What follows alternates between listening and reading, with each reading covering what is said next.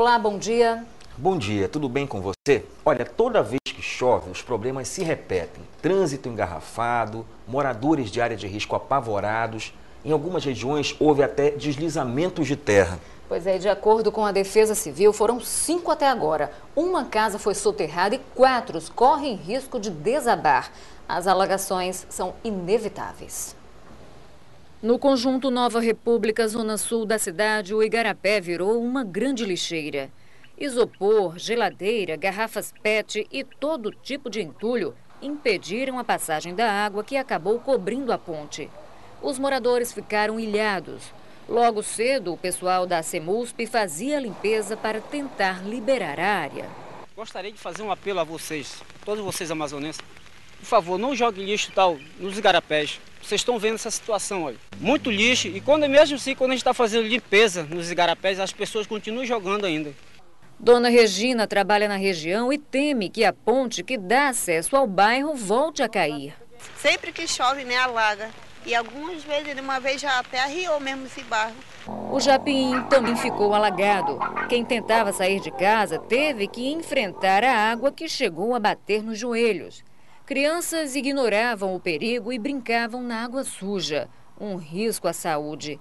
Esta mulher disse que no início da manhã este ônibus ficou no prego e foi preciso improvisar para deixar o veículo. O vizinho botou uma escada, aí retiraram as crianças e resolveram o problema.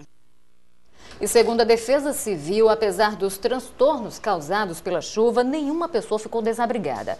E a Defesa Civil orienta que as pessoas só saiam de casa se realmente for necessário. Qualquer ocorrência deve ser informada pelo telefone 199 199.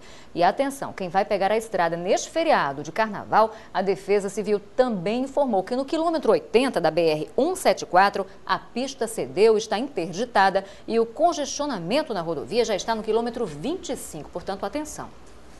Bom, e segundo o Instituto, Instituto Nacional de Meteorologia, nos últimos 28 dias choveu quase o dobro do previsto para a região, 500 milímetros. Só para você ter uma ideia, a previsão era de 289 milímetros e meio. E deve vir mais chuva para os meses de março e abril. Isso por causa do fenômeno Laninha, que altera todo o clima das regiões norte e nordeste do país. E por causa da cheia do Rio Negro, a partir de hoje, a rota das balsas do Porto São Raimundo vai mudar. Quem precisa fazer a travessia de Manaus-Iranduba agora vai desembarcar no Cacau Pireira. O nível do Rio Negro atingiu mais de 23 metros. Por causa disso, as balsas vão ser direcionadas a partir dessa quinta-feira para o distrito do Cacau Pireira, que fica a 40 minutos do Porto do São Raimundo. Novas rampas foram instaladas, mas segundo a Sociedade de Navegação, Portos e Hidrovias, outras cinco estão sendo recuperadas e oito balsas estão operando. Do outro lado, também está tudo preparado para a mudança o Cacau Pirã já se prepara, ele se prepara um mês antes para receber. Lá já existe posto médico, posto policial, uma feira municipal consolidada, há todo um aspecto que faz com que o viajante tenha mais comodidade nesse feriado. Alguns usuários acreditam que a alteração vai agilizar a travessia. Essa mudança é importante, porque o tempo vai diminuir. Enquanto outros dizem que só a mudança de rota não ajuda a melhorar o serviço. Mas o problema não está bem aí. O problema está no, no, no motor dessas balsas que estão escateadas. Esta provavelmente é a última vez em que a mudança na rota das balsas aconteça. Isso porque o nível do Rio Negro deve voltar ao normal no mês de setembro, época prevista para a entrega da ponte Manaus-Iranduba. Tomara que a ponte seja logo entregue, né? E a Prefeitura de Manaus assinou hoje um convênio para o plantio e a manutenção de árvores na cidade. O contrato prevê a revitalização das árvores nos canteiros centrais e passeios públicos, irrigações e reconstruções do pavimento, do piso e dos meios-fios. A previsão, Regiane, é de que 10 mil árvores sejam plantadas aqui na capital nos próximos meses. Legal, Manaus né? Manaus agradece, né? É verdade. Pois é, olha só, e por falar na prefeitura, a partir de hoje e pelos próximos nove dias, quem vai comandar a cidade é o presidente da Câmara dos Vereadores de Manaus, Isaac Tayar. Ele fica no lugar de Amazonino Mendes, que vai fazer uma viagem particular. Isaac disse que nesse período não pretende tomar nenhuma medida que venha alterar a rotina do município. Consumidores cada vez mais conscientes. A cada dia cresce o número de pessoas que reclamam e lutam pelos seus direitos. Prova disso é a quantidade de reclamações e de multas aplicadas aos fornecedores. Pois é, mais em mais de 20 anos de vigência do Código de Defesa do Consumidor, muita gente ainda deixa de lado seus direitos é, por desconhecimento, até por comodismo mesmo.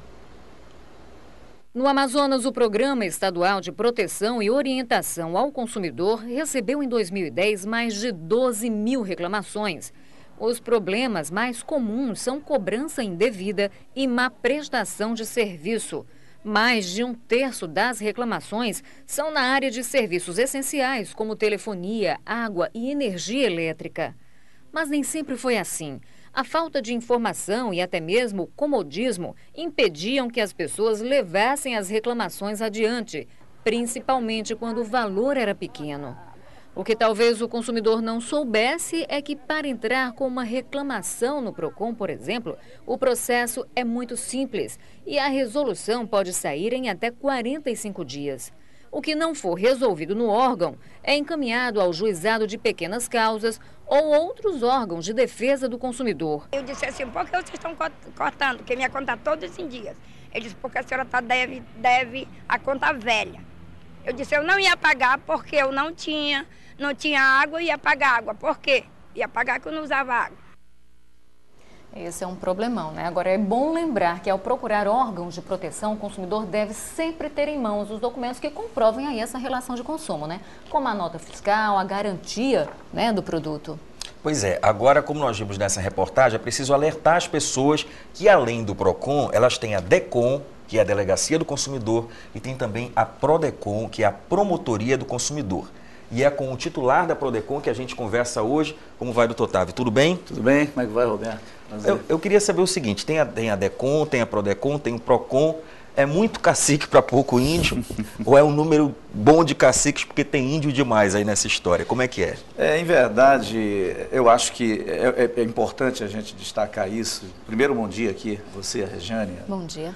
E a todos os telespectadores, mas é, o que a gente queria dizer é o seguinte: eu, eu lembro agora, você colocou aí, lembro de um doutrinador no direito, JJ Calmon de Paz, que diz o seguinte: o cidadão brasileiro é aquela pessoa que está. Uma, pegou o exemplo, um, um, uma criança que está com fome e precisa que se dê o leite a ele. E chega, digamos assim, a Defensoria Pública, não afasta todo mundo que eu vou dar o leite. Depois chega o Ministério Público, não, eu vou dar o leite para a criança, para o cidadão. Chega o Judiciário, não, eu vou dar o leite para o cidadão. E a verdade é que o cidadão continua chorando sem o leite, uhum. sem a cidadania nesse sentido. Mas a verdade é o seguinte, é, eu acho que muito se avançou, quando você disse ainda há pouco, que mais de 20 anos do Código, muito se avançou nesse campo. Ah, as pessoas estão mais conscientizadas, há muito mais reclamações, evidentemente que ainda falta estrutura, isso é uma realidade, para os órgãos dar as respostas. Ah, agora, é preciso também consciência. Eu acho que esse trabalho, ainda há pouco, foi mostrado aí por vocês da questão das enchentes em Manaus. Se não houver realmente conscientização, é bobagem. Por mais que hajam ações dos órgãos, nós não teremos essa resolução. No caso do consumidor, a gente tem que realmente sempre alertar e especialmente numa situação que nos traz aqui, digamos, mais de perto, que é, eu posso, não sei se já posso abordar, acho que sim, né? A questão das financeiras, Roberto e Regiane, chamando a atenção do telespectador. O que, é que acontece com essas financeiras que estão aí anunciando diariamente nos meios de comunicação, especialmente o impresso?